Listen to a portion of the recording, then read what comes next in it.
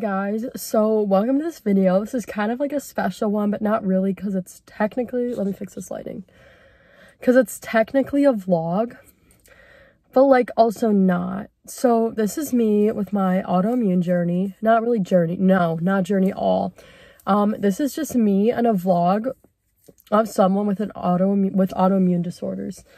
Um, so basically this is just gonna be me like going through my week. We'll see if it gets to a week. It might only be a few days just because sometimes vlogging is exhausting for me. It's hard. Um, I don't love to disclose everything in my life, but I'm also not scared to. So like for me, talking about this is not a big deal at all, not a big deal whatsoever. I'm used to talking about this. Um, I'm really working to bring awareness towards these issues, not issues, kind of issues, working to bring awareness towards these medical issues and disorders because I have a lot and a lot of them aren't talked about a lot because they're not they're not that common in children. Um and so me, I'm trying to bring awareness to it and if you have autoimmune disorders, tell you that it's okay to be you. It's okay. It's okay to talk about what you want to. It's okay to hide what you don't want to talk about, but that you can live a normal life comfortably. And that's that's the goal. That is the goal of this vlog.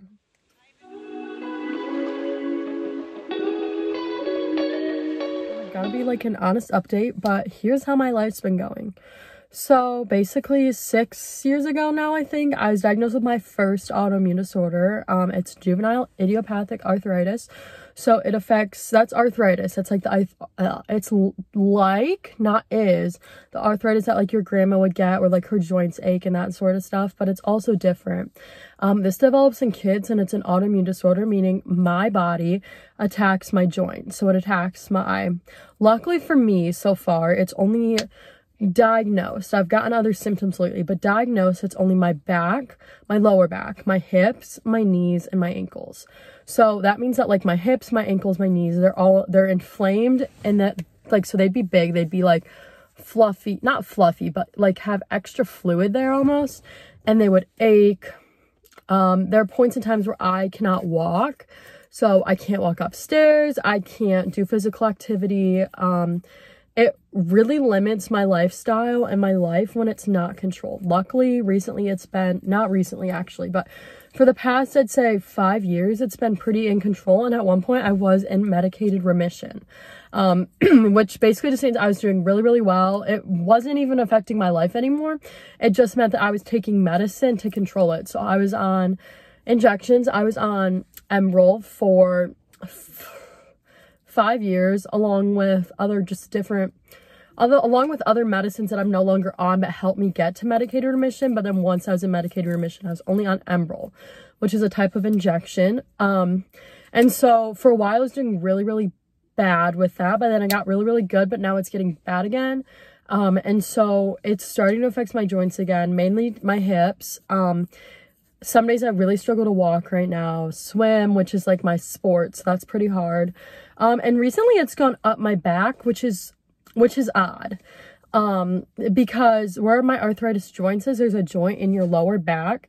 And that's not the joint that's hurting. It's more like, it's not even on my spine either. It's up towards my shoulders. So we're wondering if it's moving up my shoulders. So for that, I'm gonna have to get like some imaging done to see if there's any like arthritic damage, even though I don't technically have it up here.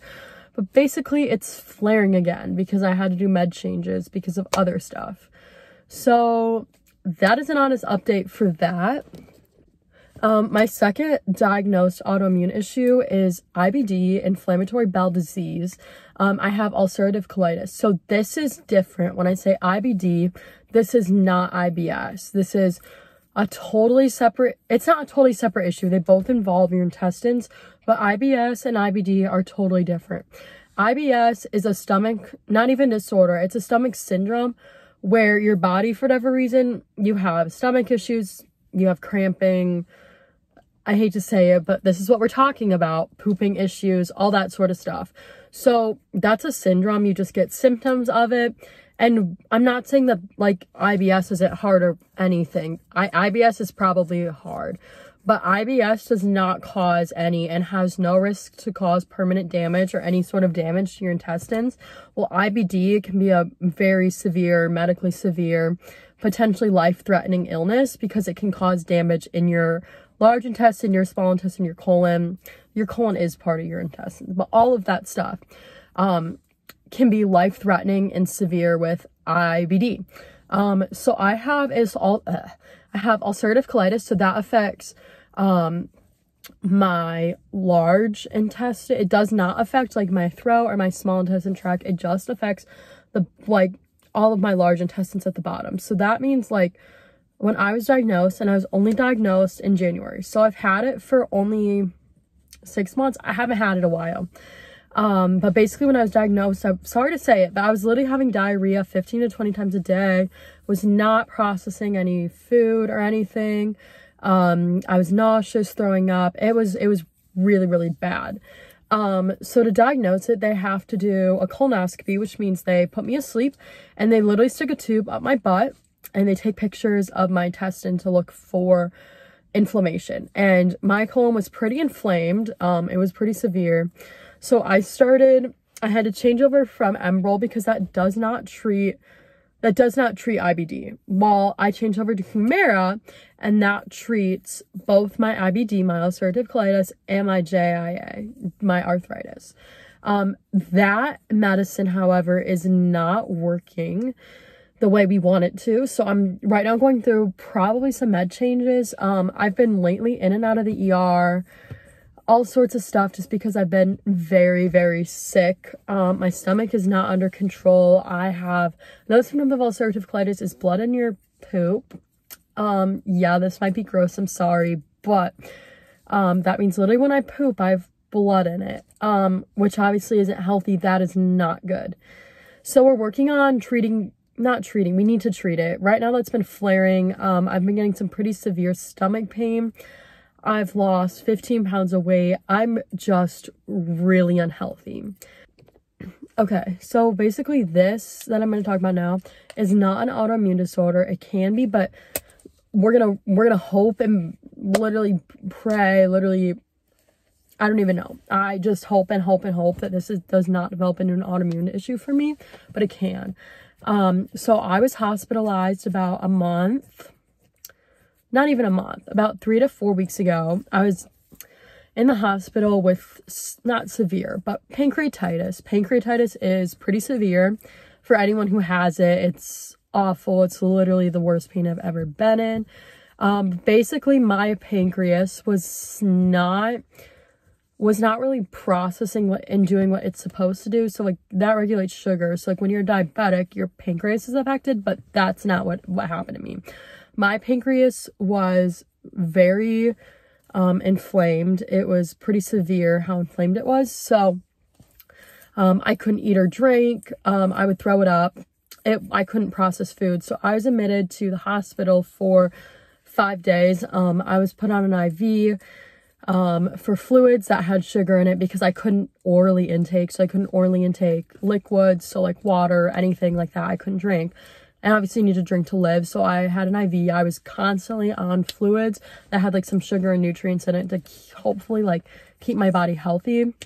Um i couldn't eat. So i was on i couldn't eat for like four days. Um i lost 10 pounds in less than a week. Um so they talked about and considered giving me a feeding tube through my nose and down to my stomach.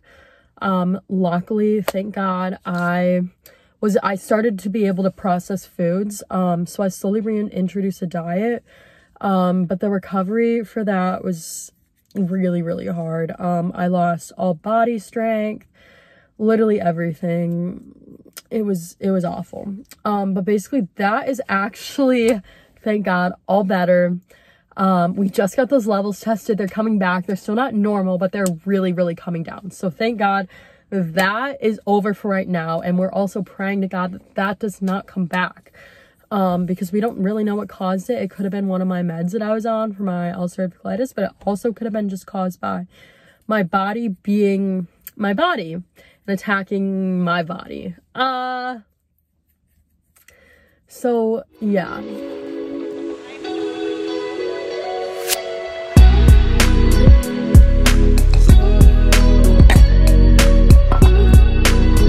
Hey guys, so today it would be, let's see on my tower. This is literally how I keep track of days.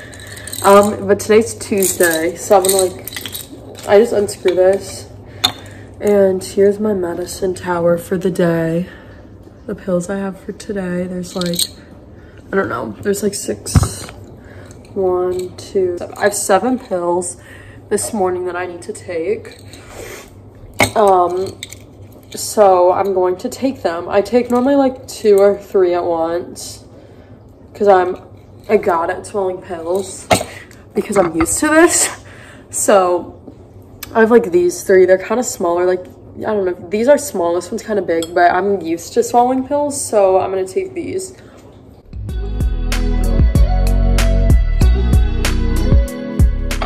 And then I can't take all four of these at once, but this is, uh-oh. And so it's just two, I'm gonna take two and then two.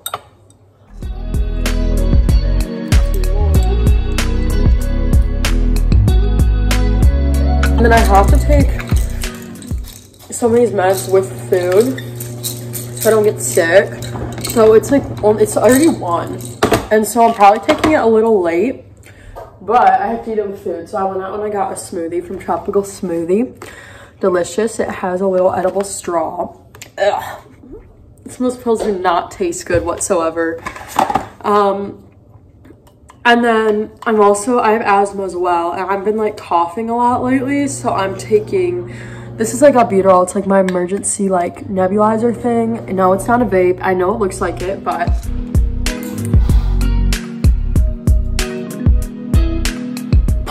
I have to wait 10 seconds in between each puff.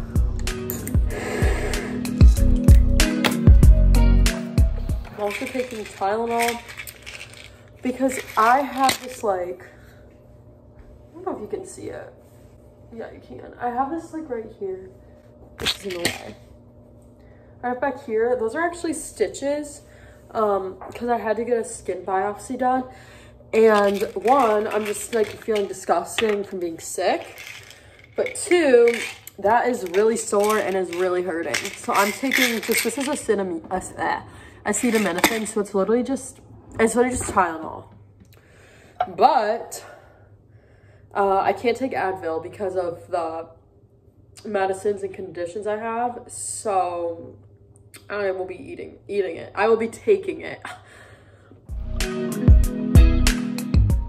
Delicious. So that's it for my like morning meds. Um, I take everything else at night. So so fun. I know. So I actually take this at night, but I thought I'd talk about it now because it's like I only take it once a week, so it's kind of special. Normally I do it Monday, but because of like things going on and me being sick, and I was like, I was in the ER yesterday. That's a story time for next, I don't know when, soon maybe. But I take this, like this is an injection. Um, it's Humira. So I just do this on my leg. I probably won't record me doing it because I hate injections, even though I get them every single, every single week. I've gotten them every single week for like six years. Um, I still hate them. So I'd rather not show you guys doing it. And I'll tell you a little secret. I am 16, almost 17, and I still do not give myself these. Uh-uh. They're like way scary. So that is something I still do not do. Maybe embarrassing for me, maybe not if you're in the autoimmune community. It's embarrassing that I don't give these to myself. But for fun, I think I'll show you. I have like a starter kit thing that I got when I first started it, which is how I was supposed to learn how to use it, but I didn't. But it like kind of got me familiar with it. So I'll get that out and I will show you. Okay, but basically this is like the testing kit I was telling you about there's no real meds in it. This was just my way um, of getting familiar with it because I just started Humira six months ago. I've been on injections like for six years, but we had to like change meds and stuff. So this is a different kind of injector I had been using before. Um, so basically inside it just gave me like paperwork info, but this is what like I actually want to show you what it is. This is the exact same injector that I use that has actual medicine in it, the one I just showed you out there. Um, so as you can see, it just says reusable practice pen. There's no medicine in it. There's no needle. So like if I, when I do this on me, I'm not giving myself meds, but this is, this would be the way that I give it to myself. So there's just like two different caps. They're labeled one and two. It's literally just like an EpiPen. I take off one then I take off two, the needle would be in here and the needle would be covered the entire time I give it to me. Like I, I mean, needle would come out, but like I won't see it, which is good because needles are scary, even for people who deal with needles all the time. Um, so basically what I would do, I'm gonna move, but I will be giving myself fake giving it to me, this injection. So I would, this is not loaded properly. Okay, now I have to reset it. Okay, so I'm gonna be giving this to myself, ah, I'm gonna be giving this to me. It's a fake, so no worries, no needle. That's why I'm not gonna flinch or anything. Um, so basically I'm gonna uncap cap one. We, you throw it away. This is just a one-time use, but this is reasonable, so we don't. Take off two. And then what I do is I grab a piece of my skin, like, that I know I'm going to do it on. I always do it on my legs. And then I basically, I clench the skin to, like, raise it. And then I place the needle on it. I always say one, two, three before I do it. So I'm going to go one, two, three. I'm to press. And I have to stay still because at this time, like, this is when the needle would go in. Um, and I just count to 10. So, like, we just counted out to, like, 3, 4, 5, 6, 7, 8, 9, 10. Normally I do it longer, but whatever. And then I look, there's a little line in here that's yellow. And when it's done, you'll see all of yellow. So at this point to be done, so all I do is I just pick it up. And this little white thing would cover up the needle. So I won't ever see the needle. And then that's it. I only do that once a week, but that's what it would be like actually giving it to me. Again, I probably will not show it because I am a scaredy cat. So, sorry about that, but it's scary. So, yeah. Okay, hey guys, so it's like the end of the week. Like I filmed this video so long ago, but I decided to edit it now. And I'm super, super, super excited for you guys to watch it. And I hope you watched it and I hope you loved it. But that did not end up being like a week in my life. And it ended up being literally a day, even just a few hours. I just wanted to give you guys a sneak peek of my life and what it looks like because it's not perfect like it seems. Um, and that's just my meds, but I'm thinking about doing more of these. So let me know. And thank you guys for watching. So I really, really, really, really hope you enjoyed. So thank you.